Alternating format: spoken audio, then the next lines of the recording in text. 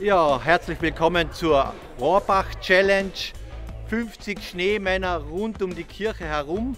Und da sind meine Kollegen, die werden auch mitlaufen. Und als erstes, Max, dir die Frage, hast du damit gerechnet, dass das funktionieren wird?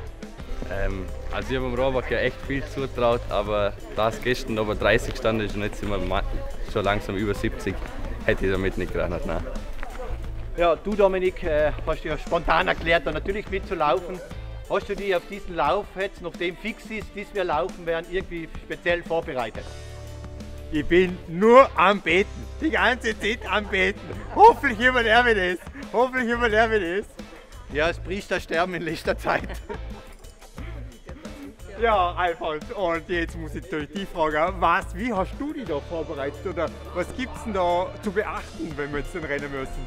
Also ich habe mir diese Strecke natürlich ganz genau angeschaut und habe gemerkt, die Kirchenchor gerade ist ein bisschen gefährlich, die Halleluja-Kurve, da kann es dann leicht auswerfen, aber vor allem dann die, die Weihrauchkompression, da wird wahrscheinlich Zeit liegen bleiben. Aber ich hoffe, das geht gut.